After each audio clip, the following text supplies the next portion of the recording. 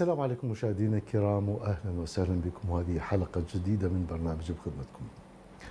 مشاهدينا الكرام حلقتنا اليوم راح تكون استثنائية جدا. حلقة خاصة عن أزمة السكن لأساتذة وموظفي جامعة بغداد وأيضا مركز الوزارة. أي وزارة التعليم العالي والبحث العلمي. هذه الأزمة الحقيقية التي طالت شريحة كبيرة من أساتذة وموظفين في جامعة بغداد ومركز الوزارة. هؤلاء النخبة هؤلاء الطبقة ال... التي تقدم العلم لطلبتنا وأولادنا. اليوم هم في مظلومية كبيرة. ناشدوا الكثير خرجوا بتظاهرات وصلت المرحلة إلى أن تكون هناك اعتصامات ولكن بدون جدوى. قبل لا أدخل الاستوديو كان الحديث مع أحد الزملاء. هاي الطبقة لو كانت من من النوع اللي تغلق شوارع وتحرق إطارات لكان لبوا مطالبها. لو كان لهم صولة في داخل الحكومة أو أحزاب ساندة إلها لكان لبوا المطالب. لكن طبقة مهنية علمية قدم العلم فقط. هذا هو نهاية المطاف. وصلنا إلى مرحلة كثرة الحديث لكن بدون جدوى. لكن علينا إحنا كسلطة رابعة أن نكون لهم عونا لإيصال مطالبهم. إن كان للرأي العام بالدرجة الأولى وهذا الأهم وللأسف وصل مرحلة أن نطرح فقط للرأي العام لكن بدون مجيب المصالح إن كانوا بالحكومة أو بعض الأطراف مصالح مصالح كبيرة جدا. بهكذا مساحة في هكذا موقع تكالبت عليها جهات تحاول السيطرة على هذه المساحة الكبيرة اللي هي تابعة إلى جامعة بغداد. حقوق موظفي جامعة بغداد سلبت من قبل بعض المستشارين وبعض المسؤولين في الدولة العراقية أو في حكومة تصريف الأعمال اليومية. أول مرة أشوف حكومة تصريف أعمال الهيد الطولة بكل المشاريع وبكل الاستثمارات وبنقل المسؤولين وتغيير المحافظين. ولا أحد يحاسب هذه الحكومة حكومة تصريف الأعمال اليومية. كون هناك جهة أو جهات داعمة وساندة لهكذا حكومة حكومة الإنترنت وحكومة التواصل الاجتماعي. على العموم لنا حديث كبير بقضية حكومة تصريف الأعمال واللي هي جزء كبير من هذه المشكلة. اليوم حضروا لنا ضيفين عزيزين وكريمين. هما الدكتور كفاح النجار ممثل أو عضو اللجنة العليا الممثلة لمنتسبي جامعة بغداد المطالبة بحقوقهم. أهلا وسهلا بك أهلا وسهلا بك. شرفتنا الشرف دكتور. الله يخليك. وأيضا الدكتور حميد رزاق الجنابي أيضا عضو اللجنة العليا الممثل المنتسبي جامعة بغداد. مرحبا بك يا جماعة الله يسلمك حياك الله دكتور حازم. شكرا. شكرا لحضوركم شكرا لعناكم وصلتوا إلى قناتكم قناة الأيام لطرح هذه المطلوبيه بصراحة دكتور. نعم. إحنا سبق سوينا حلقة وكان متمثل بالأساتذة حضروا وطرحوا الموضوع. بصراحة كان لها صدى يعني واستجابة لبعض الأشخاص كانوا من أحزاب وبعض الجهات الحكومية لكن لحد الآن ما وصلنا لنتيجه. الأخ المخرج يقول يعني يا ريت تعاد المشكلة شنو؟ يقول بعض الناس ما انتبهوا لهي الحلقة أو أو ناس ما تعرف شنو المشكلة. نعم. اليوم عنوان إحنا أزمة سكن اساتذه وموظفي جامعة بغداد. شنو الأزمة؟ شنو الأزمة؟ نعم شكرا دكتور، حقيقة الأزمة طبعا إحنا حالنا حال شرائح المجتمع العراقي الأخرى، كنا نعاني من موضوع أزمة السكن. نتيجة عدم إيجاد حلول واقعية لهذا المجتمع العراقي آه، سواء كان عامل أو كاسب أو موظف بالدولة لكن عادة آه، سعت الدولة حقيقة من 2003 إلى يومنا هذا أو بعض الوزارات إلى أنصاف موظفيها وسعت إلى إيجاد خلينا نسميه بدائل وحلول للموظفين العاملين في آه، تلك الوزارات من خلال إيجاد أراضي سكنية لهم أو مشاريع أو إلى آخره من هذه الأمور. ونشوف كثير من الوزارات آه، ما عندها أرض لكن وزعت آه، اشترت أراضي حتى تنطي لموظفيها ووزعت نعم. الموظفيها أكثر من مرة. يعني وزارة المالية وزارة النفط حتى وزارة الكهرباء. يعني قبل آه، مستمرة بعملية التوزيع للموظف لأنه آه، حق السكن حق كفل الدستور وأنه الموظف يا دوب راتبه يكفيه معيشته فلازم الدولة توفر له سكن. الدكتور عفوا الدولة. الدكتور كفاح. يعني هو السكن أصلا تابع جامعه بغداد. إحنا بالنسبة لنا هسه راح أجيك. يعني بس دا أراويك إنه الوزارات شلون سعت.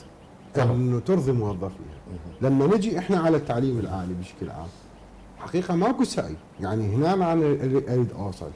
لماذا الوزارة مو هسه الحالية فقط؟ يعني من 2003 لحد يومنا هذا ماكو سعي من قبل الوزراء المتعاقبين ل- يعني إعطاء الأساتذة سكن خاصة اساتذه الجامعات في بغداد.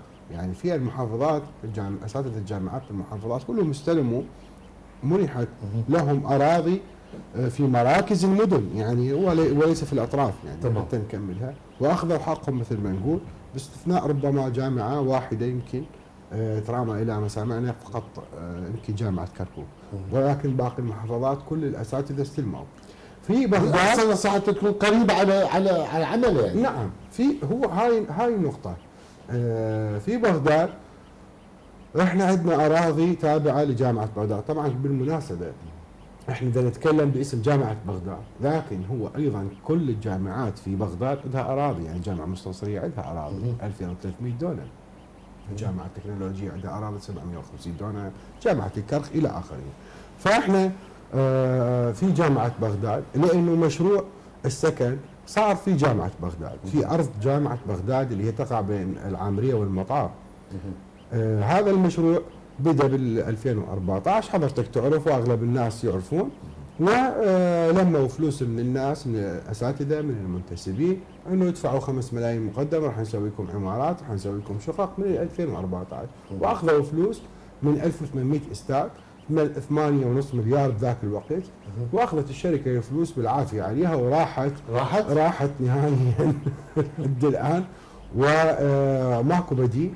فاقترحت الوزارة آه، في عام 2019 بناء على القانون اللي صدر قانون 70 2019 بانه تشجيع الوزارات اللي تمتلك أراضي بمنح الأراضي اللي تمتلكها إلى موظفيها عن طريق البيع يعني مو حتى مو بمجانا أها. بيع فسعت الوزارة مشكورة في ذاك الوقت قدمت مشروع عام 2020 متكامل سوت عليه دراسة جدوى كامل إنه إحنا نستطيع أن نوزع هذه الأرض لاساتذه جامعة بغداد باعتبارها ملك لجامعة بغداد. ومقابل مبالغ ماليه آه، أيضا بنف- يعني هم تسدد المبالغ الخمس ملايين اللي دفعت وبنفس الوقت آه، تعطى لمشاريع الوزارة. يعني الوزارة الآن ميزانية البحث العلمي ترى صفر. ميزانية؟ إي البحث العلمي ماكو صفر. يعني البحث العلمي كله يقام على أكتاف الأساتذة. هذا هسه راح اجيك عليه فإحنا د- على المشروع شلون صار؟ فحتى أيضا تقدر تستطيع أن تبني صارت فيها دراسة جدوى كاملة وأرسلت من دائرة المشاريع لكن بدأت تهمل شيئا فشيئا إلى أن تلاشى الموضوع إلى أن إحنا عدنا من جديد اضطرينا. حقيقة إحنا مو واجبنا كأساتذة نوبات آه، بعض الناس يسألونا انه نطلع مظاهرات نطالب يعني لكن حتى نوصل لل- للناس إنه أي مرحلة وصلنا بحيث اضطرينا إنه نطلع مظاهرة. اضطرينا إنه نوقف بالشارع ولا إذا أنا أريد أجيب تاريخ الأساتذة الجامعات في العراق أي جامعة ما حد طلع مظاهرة. حقه يجي هو قاعد بالبيت. هو بج- بجامعته. المفروض المفروض. الأستاذ الجامعي حقه هذا. أبسط حقوقه. وهذا أبسط حقوقه. تمام. هسه إحنا ما نطالب بما كان يعطى للأستاذ من 600 و1000 إحنا بدنا نطالب بأضعف الإيمان اللي هي 200 انت مثل ما قسمتها. بمخرجات علمية المفروض انت مثل ما طالبني أنا كجامعة بغداد يعني قبل أسبوع كانت كفر حاج أخذت التصنيف الأول على الجامعات العراقية قبل أسبوع وكرم السيد رئيس الجامعة رؤساء الأقسام البار... الأقسام البارزة واللي جابت هذا التصنيف ودائما إحنا جامعة بغداد هي السباقة وهي الأولى بالتصانيف العالميه بس بناء على منو؟ على كتف الأستاذ، أستاذ جامعة بغداد، علماء جامعة بغداد هم اللي يطلعون مؤتمرات دولية على حسابهم وعلى حساب أولادهم حقيقة. هم اللي يكتبون بحوث في مجلات آه، مجلات علمية. رصينه وسكوبس اللي تت- متراوح ما بين 1000 إلى 2000 دولار. أو الأستاذ مرتباتهم حتى من مرتباتهم. الشخصية.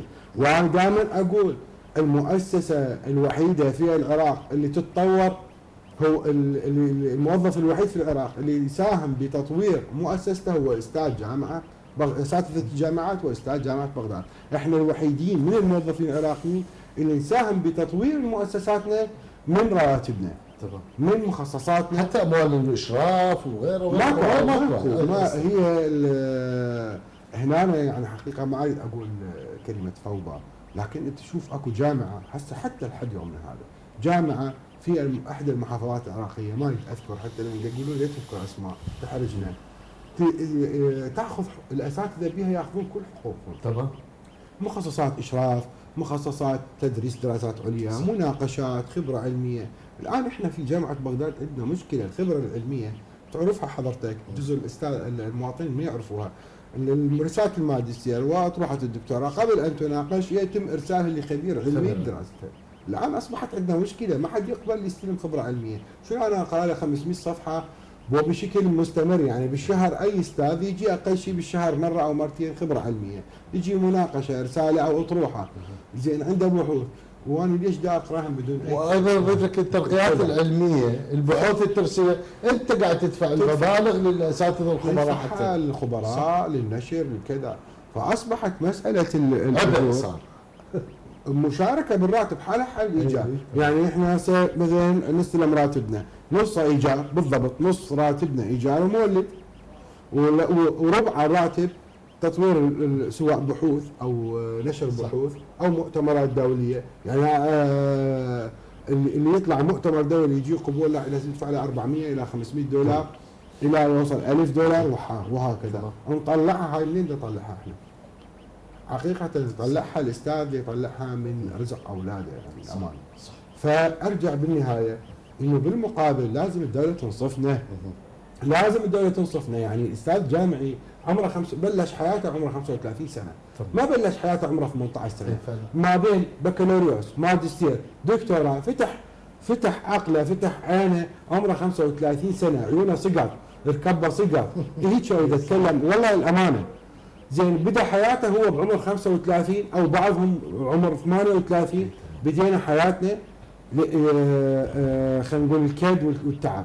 الآن أنا مطلوب مني أركض مثل ابني ال 18 سنة مثل أبو ال 20 سنة. لا أنا المف- المفروض الدولة تنصفني. أنا جاي ادرس أولادكم وأحفادكم؟ يا آه، مسؤولين. إحنا وكل المسؤولين طالعين هو من من تحت عباءة جامعة بغداد. طالع هاي الجامعة الأم لماذا هذا الإهمال حقيقة؟ يعني أنا من أهمل الإستاذ ترى أهمل الجامعة. ومن أبو أهمل البحث العلمي. من أني أخليه يظل يفترق دوامه الإيجار. يوم شايل يوم هذا زيت الإيجار. آه روح من هنا تعال من هنا يعني هسه أنا متحدث وياك أنا 20 مرة شايل تقريبا. من بس أقعد لي سنه سنتين زاد الإيجار. وأضطر اشيل أروح ابحث عن مكان آه أرخص. أرخص. للأمانة. وكذا الحالة مع زملائنا يعني. مو وليس مع آه، دكتور من الناس أو كذا. فإحنا لما صار موضوع الأراضي إذا تسمح لي أتكلم. آه، قدمنا وكان عندنا أمل كلش كبير انه يصير أكو إنصاف. ولا سيما أن الأرض هي لجامعه بغداد هو ملك وهي ليست ملك وزارة المالية، ليست ملك الأمانة، يعني وليست ملك آه، أحد آخر. فلكن بلشت هذه الأرض و- وتعطى لشركات استثمارية. راح أجيك على الشركات دكتور كفاح راح أجيك على الشركات الاستثمارية دكتور حميد جنابي يعني أنت حضرتك شاهدناك في أكثر من في مكان في محل آه، مع المتظاهرين انتهاز من الجروب مهم يشمل تقريبا بال 6000 تقريبا ما يعادل 6000 من أساتذة وموظفي جامعه بغداد ومركز الوزاره. هل هناك نتائج ملموسة من خروجكم بمظاهرات وهاي الاعتصامات؟ شكرا شكرا أستاذ حازم شكرا لجميع كادر القناة وشكرا على الاستضافة وعلى إتاحة الفرصة لطرح مناقشة هذا الموضوع المهم اللي يخص منتسبي جامعة بغداد ومطالبتهم بالأراضي المخصصة لهم السكن في منطقة العامرية. طبعا الصراحة إحنا جبرنا على تقديم الطلبات وعلى المقابلات وعلى الوقفات وعلى الإضراب بسبب استمرار التسويف والمماطلة. طبعا آه، حضرتك تكلمت ودكتور كفار التعليم هو يمثل العفو يعني المحرك الأساسي لبناء وتطوير البلاد بس بالمقابل الأستاذ الجامعي هو العمود الفقري للجامعة. وهم يمثلون قادة المجتمع وهم المسؤولين عن البناء والتطوير. يعني إحنا نقول الحرية الأكاديمية سواء للجامعة أو الأكاديمي إذا تسمح لي يعني براحتك الله يسلمك. الحرية الأكاديمية بالنسبة للجامعة وللأكاديمي هي محدودة إن لم تكن معدومة اللي هي استقلالية. استقلالية الجامعة والمؤسسات البحثية وعدم وجود التأثيرات الخارجية وموضوع تعدد التمويل ما يخص البحوث اللي يتكلم عليها الدكتور كفاح هاي معدومة موضوع الحصانة الأكاديمية موضوع ال- ال- اللي يخص الجهات ال- ال- ال- سواء جهة مهنية جمعية أخرى اللي هي المفروض تطالب أو تدافع عن حق الأستاذ الجامعي. يعني الحرية الأكاديمية بالنسبة للهيئة التدريسية للجامعة تعني آه، حرية الجامعة واستقلاليتها اداريا واكاديميا وماليا. هذا وحرية الأستاذ هي تتجلى بال يعني الأهمية الأولى هي منح فرصة للتطوير الذاتي والإبداع. هذا كل يعني مقدمة عن حرية الجامعة وحرية الأستاذ الجامعي. أكو في ظل دكتور؟ كانت جامعة التكنولوجيا كانت تجربة آه، بالحكومة السابقة. نعم. كانت الصلاحيه واستقلاليه جامعة التكنولوجيا والله يا أستاذ حازم هذا المفروض يدخل ضمن دساتير مثل يعني إحنا هذه التشريعات أو الموضوع الحرية الأكاديمية هي وفق الدساتير ال- ال- ال- الحديثة للدول هي مشرعة. وهي يعني هي جزء ما تتجزا من الحريات ال- ال- العامة اللي يتمتع بها المواطنين في داخل الدول المعاصرة.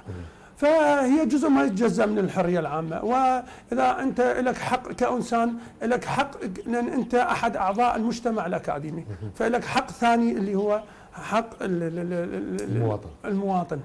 بالإضافة لحقك كمواطن أو كإنسان لك حق كأستاذ آه، أكاديمي لك آه، دورك في آه، في الهيئات القيادية والإدارية و- و- بالضبط. وأنت يعني يمثلون هم اعلى شريحة. واضح؟ وإحنا نتكلم في بلد يعتبر أغنى البلدان واضح؟ موضوع الأرض. يعني إحنا آه، طبعا موضوع السكن هو آه، يمثل الاستقرار الاجتماعي والنفسي. حتى تتفرغ يتفرغ التدريس يتفرغ ل- ل- للتدريس. التدريس النوعي والبحث وال- وال- والتطوير والإبداع.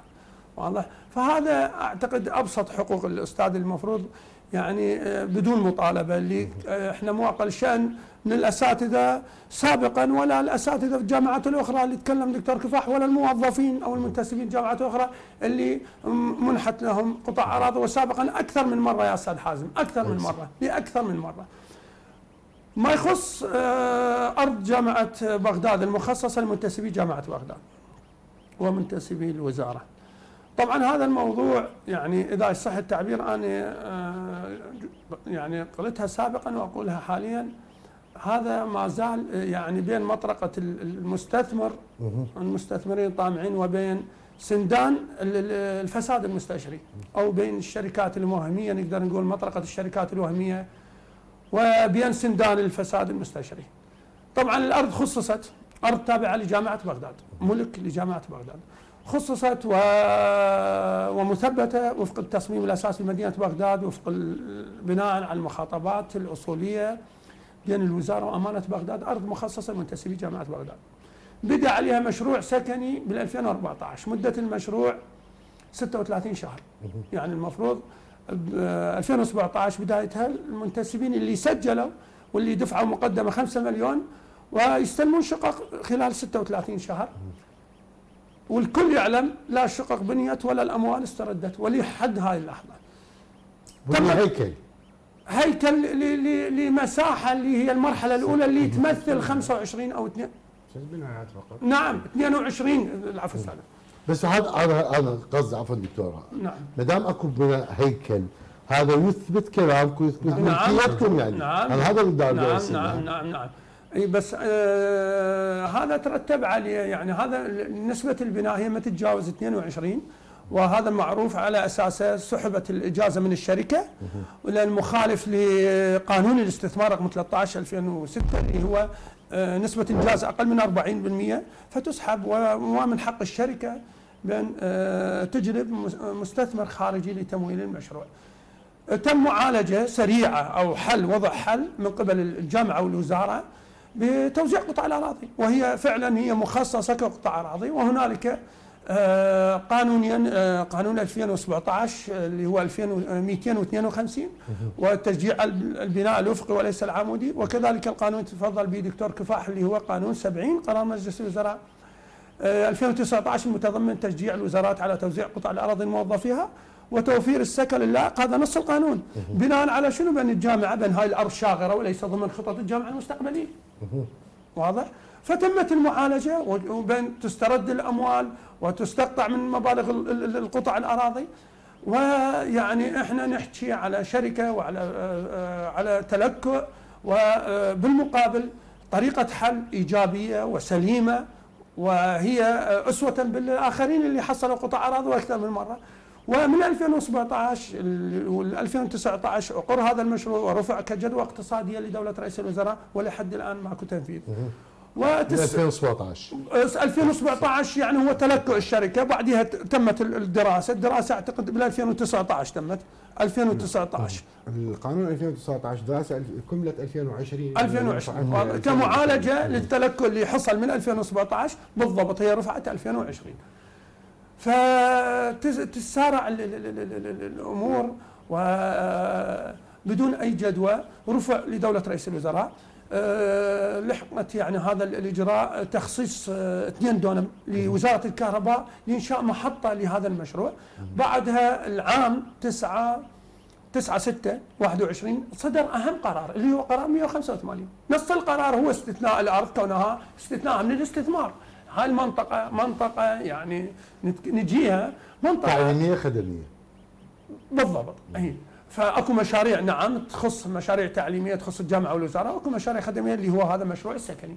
فكان قرار آه، جدا مهم اللي هو استثناء الأرض من الاستثمار و هذا قرار مجلس وزراء بالضبط قرار يعني إذا 105 أنتم حكوميا أنتم س- تم اسنادكم بالكتاب مو نعم وأعطاء الصلاحيه للجامعة من والوزاره ينفذ اعطاء الصلاحيه ب- بنص هذا الكتاب كون الجامعة أرض نعم الجامعة تنفيذ رؤيتها بتحقيق مشاريعها وإنجاز مشاريعها. جيد. الجامعة هنا شنو دورها؟ إيه هنا أنا إحنا بعد يعني آه، بعد هذا القرار يعني شفنا ال- ال- ال- الكتاب الأخير اللي هو صدر وتم تعديله من قبل الجامعة. لا نرغب للسكن وتم تعديل الكتاب بمحضر جديد بعد آه، مقابلة رئيس الجامعة.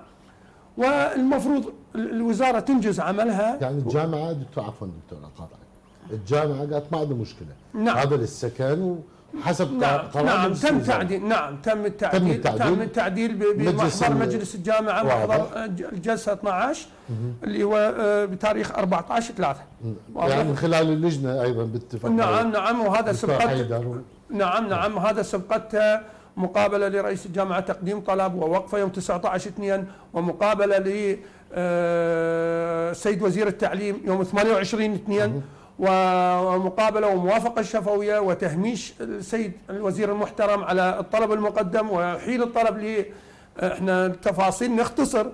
حيل حيل الطلب لمجلس الجامعة فحصلت الموافقة يوم 14 3 فسبقتها يعني إحنا نقدر نقول موافقة الجامعة يعني بعد تقريبا ست أشهر من المتابعة والطلبات والتقديم تم تعديل الكتاب السابق. من هاي الفترة ولحد الآن هو الموضوع على عاتق الوزارة. المفروض يعني يحسم لأن ال- ال- ال- ال- ال- الإجراءات والقرارات والموافقات الأصولية هي ماخذة خلينا نقول ماخذة طريقها. طريقها للتنفيذ. واضح للتنفيذ هذا الموضوع.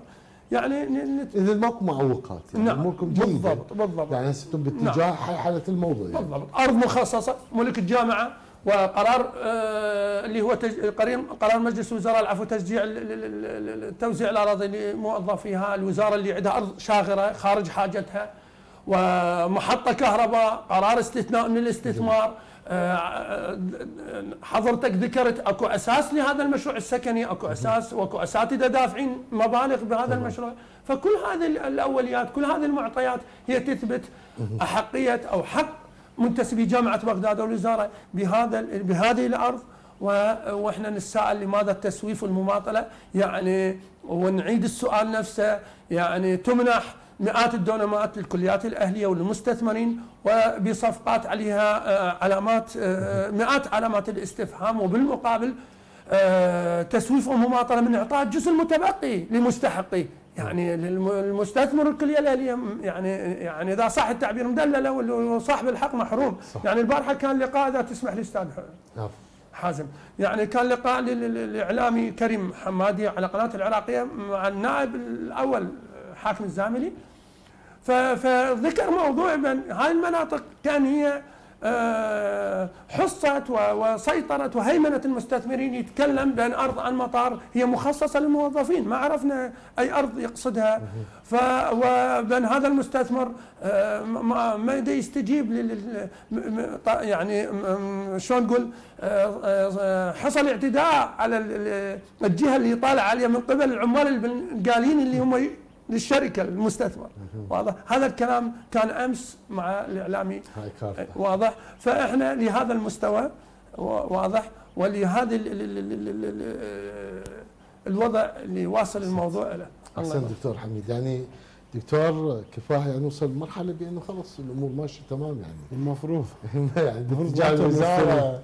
والوزارة راح تعطي قرارها لكن مثل ما تفضل دكتور حميد هناك تسويف أو مماطلة. لإطالة أمد المشكلة ممكن حتى تسوف. ها كل اللجان نعم. كل لجان الدولة ما شاء الله. الدولة من تقول لك لجنة أنت فتعيس يعني ماكو أي شيء وراء هاللجنه نعم. ليه راح تسوف تسوف؟ إحنا من طبيعتنا العراقيين طبيعتنا ال- الأنثروبو- الاجتماعية. نعم. بأنه ننسى. بالضبط. أو نتناسى بعض الأحيان. بسبب يمكن العاطفة تغلب على العقل في هو بعض شنو-. فإحنا راح ننسى راح تتماطل ممكن تنسون حقوقكم. هو المراهنة ترى على عامل الوقت. هو ال- المحاولة للزحف الزحف انهاء الامتحانات. يعني خلينا نكون واقعيين. آه، مجاب مطلوبه منكم الساعات بس على وقت ممكن. ثاني يوم الساعة 11 تسلم. آه، عموما هي هذا هذا المراهنة حقيقة على عامل الوقت والتصرف المماطلة غالبا عند قتل الحراك هو الحراك مو الحراك حقيقة هو مو ضد أحد بالأمانة. بالعكس المفروض من الدولة والوزارة وحتى الجامعة تشجيع هذا الحراك الأكاديمي. لأنه أحيانا مثل ما تفضل الدكتور حميد. الحرية الأكاديمية للأستاذ مهمة جدا. صح. يعني إحنا نتكلم طبعا آه، دكتور كفاح ودكتور حميد هم أعضاء لجنة الحريات الأكاديمية في جامعة بغداد. ما شاء الله. إضافة إلى هذا الموضوع. فإحنا نوبات نتكلم بموضوع الحريات نربطه بموضوع الأرض. ليش هو؟ لأنه أكو كتم عند الأستاذ. أكو خوف. يعني الآن مع الأسف الأستاذ يخاف يعبر عن رأيه. يخاف يطلع يحكي. أنت ليش تخاف؟ إحنا في المفروض يعني في دوله عشان حقبه ديمقراطيه زمنية فمن حقه دكتور. أنت هسه مدارس الان الآن إحنا صار لنا 20 سنة منتهي من النظام البائد. ما ما. ممكن يعني. الان الآن. أنا مو أنا شلون راح أفهم الطالب؟ شلون راح اعيشها مرحلة الحرية؟ إذا أنا ما عندي ما صح. مقتنع بالحرية. إذا أنا ما مقتنع بهاي المبادئ مو مطبقها. هي هاي الكارثة. لما إحنا نشرح لطلابنا ونقول لهم المستقبل أفضل رغم كل الظروف السيئة اللي يمر بها البلد لكن حقيقة خلينا نتكلم واقع إنه الآن أكو حرية أكو حرية تعبير تقدر تتكلم صح. تقدر تقول رأيك آه لذلك نقول مستقبل أفضل. حتى وإن كان ما حد يسمعني أنا ما اريد اتكلم بأمور سياسية لكن حقيقة هو أفضل وإن كان سيء لكن هو أفضل من السابق. هذا شيء خلينا نتفق عليه فأنا أيضا أريد نشجع الأستاذ أن يتكلم عن كل حقوقه لأنه إذا هو أخذ حقوقه وتكلم راح يشجع الطلبة راح يشجع طلبته أيضا على أخذ حقوقهم. لما اني أفهم حريتي شنو آه، وحقوقي شنو أبدأ آه، أشجع وأنتج بالوطن حقيقة إنتاج حقيقي واشكل وطنيه حقيقية ليست وطنية آه، بها. حزبية. وطنية حقيقية وطنية المجتمع أرجع لموضوع آه، إنه باكر تتوزع لو عقب باكر. حقيقة الموضوع متعلق بالوزارة. الوزارة المفروض تاخذ قرار آه، خلينا نقول تنفيذي إنه يا بوزعوا الأرض. وين المشكلة؟ المشكلة ال- التواصل بين ال- الوزارة وبيننا ما موجود. يعني حقيقة للأمانة. بينكم كلجنه كلجنة عليا أها. كلجنة حريات أكاديمية ماكو تواصل. التواصل صار يوم 28 2 وانقطع بعد ذلك ماكو تواصل آه، مع الخلل وين؟ إحنا هم نسأل وين الخلل يعني حقيقة. لذلك إحنا من نريد نتكلم نطلب من آه، الوزارة أن تكون عندها شفافية. يعني أكثر من قناة يطالبون يقولون آه نتصل بالوزارة ما يطلع أحد. حتى المتحدث لحد الآن. المتحدث باسم الوزارة ما يطلع يحكي يقول يابا ترى عندنا فلان شيء فلان سيطلع المتحدث يقول يابا إنه عندنا المعوق فلاني ال- ال- الطريق السد الفلاني. صح. خلي يكون شفافية خلي يعرف الأستاذ. حتى إحنا هم لا بنفس الوقت نظل ضاغطين لأنه إحنا من نجهل الأمور. تمام. خلونا على بينه بشكل حقيقي. على قولتك لجان لجان هي شنو نتيجه اللجان؟ ما نعرف لحد الآن ما نعرف. لذلك آه، إحنا بالنسبة لنا باقين وثابتين على دربنا آه، لأنه هذا حقنا ولا نسمح بعد لا نسمح بأن تؤخذ مئات الدوانم مثل ما أخذت أحسنت. سابقا سابقا تم أخذ 800 دونم إلى حدود 1000 دونم من هذه الأرض بصفقات آه، ما بين الجامعة. الأمريكية والجامعة ما ب... نعم صح. ال... ال... ب- صح الوزارات السابقة والحكومات السابقة وليست الوزارة الحالية حتى نكون منصفين وليس السيد الوزير الحالي ولا السيد رئيس الجامعة الحالي للأمان صحيح هم ما لهم علاقة بهذا الموضوع. هذا شيء نذكره وإلهم أيضا. نذكر لهم ولعليهم إحنا آه، أي أيديهم بيضاء من هذا المو... الموضوع. لكن الو- الوزراء. السابقين هذا واقع أي أي نعم هذا واقع. الأمانة يعني. إحنا نتكلم الأمانة يعني. أنا السيد رئيس الجامعة من قعدنا قباله قال أنا ما أريد أصير علي آه، ثلمة بتاريخي. وانا وإحنا قلنا له إحنا معاك. إحنا هم نريده يتلطخ. سمعته أو كأستاذ بهذا الموضوع. لذلك إحنا نذكر الشيء الإيجابي ما نذكر بس السلبي أيضا نذكر الإيجابي والسلبي يعني. الامانه ف الوزراء السابقين لكن أنا سؤالي إنه الوزراء السابقين اللي كانوا مسؤولين على هذه القضية. يجب أن يكون يتم محاسبتهم أيضا. وأيضا تتوقف عملية إحالة الأرض إلى الاستثمار، إحنا خلينا نقول لك شنو الاستثمار؟ الاستثمار أرض تعطى ملك الدولة تنطيها لشركة استثمارية تجي تبنيها تبيعها بمليارات بملايين دنانير بمقابل قبل لا شيء هو المفروض الاستثمار الأرض يشتريها هو أنا راح أسألك هو السؤال اللي طرحه آه، الدكتور حميد وجاب مثال. نائب الأول لرئيس البرلمان يقول بأنه ما ما يقدرون يسيطرون بما معنى على الشركات الاستثمارية والتفاصيل. شنو الجهات الاستثمارية اللي لها اليد الطولة على مكان استراتيجي وخاصة جامعة بغداد ويعرفون بأنه هذا وراء حديث وألسنة تتحدث بحقوق نعم. شنو هاي الجهات الاستثمار؟ من صاحب هاي الجهات الاستثمار؟ ولو مو يعني مو إلا تجاوبني بأن الجهه الفلانيه لكن. أنا أقول هاي الجهات الاستثمارية هي اللي تمنع هي اللي تنطي مبالغ لأجل آه، إطفاء هذا الموضوع وعدم تبريره باتجاه منتسبي وموظفي جامعه بغداد. ال- الآن حقيقه إحنا بشكل حقيقي وتشخيصي ما نقدر أشخص أقول لك فلان أو فلان. أو شركة الفلانيه أو شركة فلان إحنا نتكلم للأمانة. ال- التشخيص إحنا من قلنا نريد يطلع متحدث باسم الوزارة. خليه هو يطلع يشخصنا. حتى يوضح. أنا بالنسبة لي ما أعرف يعني إحنا وكنا ما ما نعرف للأمانة. لو نعرف نتكلم ماكو شيء راح يمنعنا. بس للأمانة ما نعرف منو الجهة ومنو المستفيد. أنا ما أعرف بالضبط منو ما ما نعرف. بدنا نحاول نعرف بس بدنا نقدر. لذلك هي المطلوب الآن من الوزارة حتى السد هذا الموضوع كله تقلب هاي الصفحة كلها توزع الأراضي وينتهي الموضوع. حتى أيضا تحمي الأراضي يعني هي الأراضي اللي وزعتها أيضا راح تحميها. من تقي... الأراضي من توزعها راح تأخذ أموال. قلت لك هو على قانون بيع وإيجار أموال الدولة. نعم. يعني راح تأخذ أموال. لما توزع مثلا ال 5000 أو ال 10000 منتسب راح تأخذ مبالغ هائلة مليارات. راح تشتغل الوزارة راح تشتغل راح الجامعة راح 11,000 تبني راح. تبني دكتور راح تبني مشاريعها المستقبلية. تمام. فالموضوع التطوير ال- ال- البحث العلمي هنا التطوير وتوزيع الأرض مرتبط لأن الأموال اللي راح ندفعها للجامعه أموال الأرض راح تذهب إلى صندوق التعليم وبالتالي راح تستطيع الوزارة والجامعة أن تنفذ رؤيتها المستقبلية تبني الحاضنة التكنولوجية صح. تبني جامعة تكنولوجيا المعلومات. معالم. الآن الوزاره الوزارة ما عندها حقيقة ميزانيتها تعب آه، صفر. وهذا. أيضا راح يكون السؤال. هي بالإضافة إلى هاي دكتور مثل ما تفضلت ثاني شيء معماري حديث كبنية تحتيه بالإضافة يد العامل راح تشتغل. العاطلين يمكن يشتغلوا كلها تت يعني تتمخض. في هذا. لكن هي المشكلة. أنا يعني يمكن تحدثنا قبل لا ندخل البرنامج دكتور. أي مسؤول يعرض يعني إلى الموضوع؟ أي مسؤول كان. يعني مع احترامي للكل يعني. يمكن واحد ضعيف النفس. يمكن يوقف وياك في لحظة معينة من الوقت لكن بدون واحد ممكن يسكت عن الموضوع أن يسوفه إحنا المشكلة هنا صار الابتزاز على أوجه.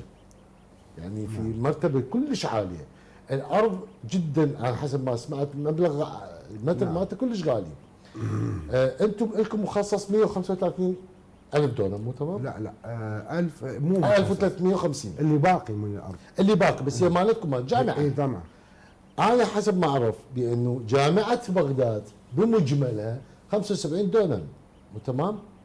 الجادريه تقول الجادرية. 74 دونم نقول 75 70 دونم إيه.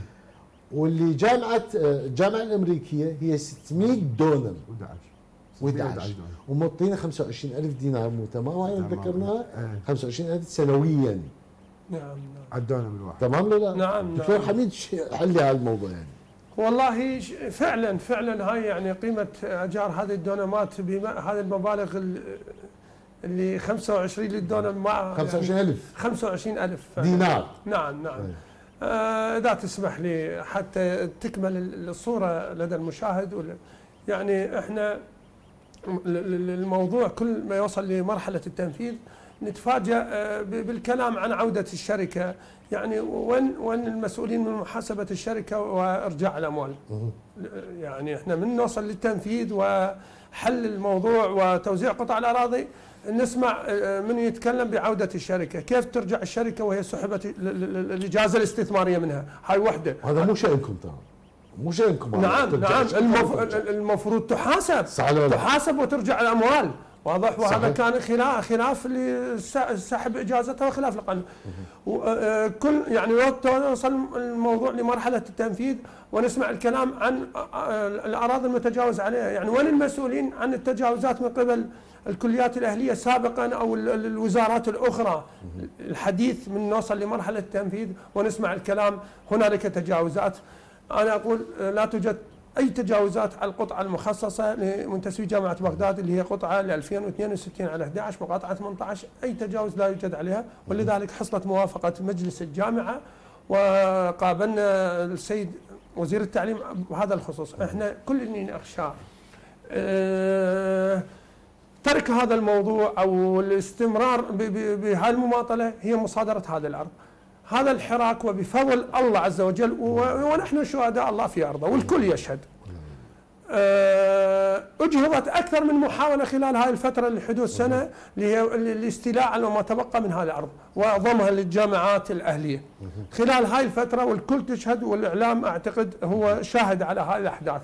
فأجهضت أكثر من محاولة للتسريع ب خلينا نقول مصادرة الأرض وما الأرض. والصادرة. نعم وما تبقى فإحنا نخشى بالأيام القادمة ما يبقى شبر من هذه الأرض وهي الأرض مخصصة للسكن للأساتذة و- آه، ونتساءل لماذا يعني لا تحاسب الشركة اللي, اللي اللي, اللي خلينا نقول تلكأت بعملها ما يعني استرجعت أموال ال- ال- ال- المنتسبين والكلام عن عودتها، لماذا لم تخاطب الجهات أو يحاسب من منح يعني ال- ال- المئات الدونمات للجامعات الأهلية والكلام هسه عن تجاوزات، فهذا الكلام هو إذا إذا كان الغاية منه فعلا استرجاع أرض الجامعة فكنا مع هذا الكلام. وإذا كان من الغاية منه الاستمرار بالتسويف في المماطله فما نتنازل إحنا عن حقنا وهذه الأرض هي مخصصة لنا ووفق يعني للقرارات قرار مجلس الوزراء قرار حمايتها قرار مجلس الوزراء 185 وتخصيص محطة كهرباء والأموال اللي دفعت من قبل المنتسبين وكل هذه وتثبيتها ضمن التصميم الأساس لمدينة بغداد بين أرض مخصصة لجامعة بغداد. فكل هاي المعطيات إحنا نستغل هاي الفرصة يا أستاذ حازم ونعيد مناشدتنا للسيد رئيس الوزراء. ناشدناك يوم 19 اثنين بوقفتنا أمام الجامعة وناشدناك بوقفتنا الثانية أمام الجامعة 16 3 وناشدناك بوقفتنا أمام مكتب السيد الوزير يوم 14 آه، 14 4 اللي حصل بها اعتداء على منتسبي جامعة بغداد. وناشدناك يوم 28 4 من أمام آه، مقر الوزارة. وناشدناك يوم 28 5 واليوم نناشدك من هذا المنبر التدخل العاجل وتنفيذ القرارات والموافقات الأصولية اللي هي كلها تدل بأن هذه الأرض هي ملك لجامعة بغداد وهي أرض شاغرة ليس ضمن الجامعة المستقبلية وهي اقرت كمشروع سكني وفق قرار مجلس الوزراء 70 لسنة 2019 وهنالك موافقات وإجراءات يعني واصلة لمرحلة التنفيذ. وهذا اللي اللي, اللي احسنت الله يسلمك. احسنت احسن الله عليك. آه كلمة أخيرة دكتور خلص وقت البرنامج؟ هو آه، آه، تكلم عن المناشدات دكتور حميد. آه، ذكرت في أحد اللقاءات التلفزيونية أحد الأساتذة المذيع كان الله- ما- ما أتذكر اسمه بس كان كلش ذكي ما خير عنك. قال له أنتم احد زملائنا قال له أنتم اعطيتوا دم إذا ما تنطون دم. بالعراق هسه إذا ما تنطون دم وتنسحلون ما تأخذون حقوقكم. والناس تطودهم مرات ما بعد إيه، أنتم اعطيتوا دم. والله دكتور اعطيتوا دم. يعني إحنا معقولة وصلنا لمرحلة يعني لازم ننزل ونتعرض للضرب ونصيح وفيسبوك وكذا. اعطونا حقوقنا وكان الله في عوننا وعونكم يعني. حقيقه شكرا دكتور اكو. عندك اكو وقت. يا هسه دقيقة أعطيك. يعني الدكتور كفاح هو انت أبو مطالب وما بطيك مطالبك كنت أقول الله يكون بعونهم. أي والله أنتم يعني صدق أنتم وزارة الجامعين. والله إحنا إحنا يعني إحنا طلعنا طلعنا, طلعنا. يم مظاهرة وقفه على أمل انه ينزل لنا السيد رئيس الوزراء أو يدز لنا مبعوث. يم الجسر المعلق أقول لك وقفنا ساعتين نزلكم الشغل لا سووا لنا مربع روماني إذا بعدين اشرح لك شنو المربع الروماني هيك حصرنا حصر المربع الروماني مع ال- أي. المعارك الرومانية. آه، لكن آه، ما قدرنا نتحمل أكثر من ساعتين من الحر آه، من الحر والشمس والشديد وكذا إلى آخره إلى آخره. إحنا ترى نتكلم جزءان دكتور آه، حميد أربعينات. لكن أنا 50 أي، و60 صح، سنة. صح. وخمسة على التقاعد. يعني الدكتور المساعد الإداري اللي توفى قبل مده قليلة. الله يرحمه الدكتور عبد الكريم. صعب رئيس الجامعة. مات مات يا جماعة مات. وعاف جهالة قاعدين بالايجار يعني هيك العالم العراقي يعني هسه إحنا كنا على هالمشوار. راح نموت ونترك أولادنا بالإيجار. معقولة؟ سيد دكتور حسبي الله ونعم رحم. الله الدكتور عبد الكريم السلام الله. تفضلوا. العفو دكتور. نرجع لموضوع الحرية الأكاديمية من باب التعريف وكاعضاء لجنة ورئيس لجنة الحرية الأكاديمية في جامعة بغداد. آه، الحرية الأكاديمية لا يعني بالنظر لأوضاع البلد بشكل عام والجامعات والمؤسسات البحثية بشكل خاص لا مفر من وضع الحريات الأكاديمية ضمن أولويات إصلاح البلد. الحريات الأكاديمية ركن أساسي من أركان نهضة ال- الأمم والشعوب. النهضة تستند على العلم ونتائجه، العلم آه، يبدأ من تمتع الأستاذ باستحقاقاته وتوفير الإمكانيات المادية والدعم المعنوي، فكل هذا هو احترامه لرسالته وما يقدمه وتقدير المجتمع لما يقوم به وليس الإشاعة. وحماية هذه الحرية الأكاديمية اللي هي آه، بالواقع جزء ما يتجزأ من الحريات العامة اللي تكلمنا عنها وما تتحقق إلا بإزالة العوامل الخارجية وإعطاء الاستقلالية للجامعة وللأكاديمي. أحسنت. الله يبارك حتى فيك. تكمل حقوقك لازم تزيل الحكومة بالكامل ما تجيك الحقوق. مشكلة هذا على شوي الإعلام عنده مساحة كبيرة بالحديث مثل ما تفضلتوا حرية موجودة. نعم. لكن قبل يعني بس ثواني. في السابق كنت ما تقدر تتحدث. نعم. يعني تروح انت وعائلتك واللي ما واللي ما- خلفك. وأسلافك. نعم. قصدي هو نسلك وليس أسلافك. الآن لك الحرية أن تتحدث ما تريد ولكن بدون جدوى. بدون جدوى. على العموم شكرا جزيلا الدكتور كفاح النجار. آه، عضو اللجنة العليا الممثل المنتسب جامعة بغداد شكرا لحضورك شكرا لجهودك والإخوان في اللجنة الإعلامية وكافه الإخوان في اللجنة العليا شكرا الله لحضورك يرضى عليك شكرا جزيلا الدكتور حميد الجنابي عضو الله اللجنة. العليا الممثل المنتسب جامعة بغداد. شكرا شكرا. بارك الله فيك. وشاكر حضوركم وشاكر الله يسلمك. مطالباتكم. وإن شاء الله الله. نكون نكون جزء من بارك الله بك شكرا جزيلا. مشاهدينا الكرام في ختام الحلقة انتهى وقت البرنامج. ألتقي لكم الأسبوع القادم إن شاء الله. تقبل تحيات كادر البرنامج وأنا معد ومقدم البرنامج حازم الحربي. التقيكم يوم السبت القادم في الساعة التاسعة مساء. क्या मामला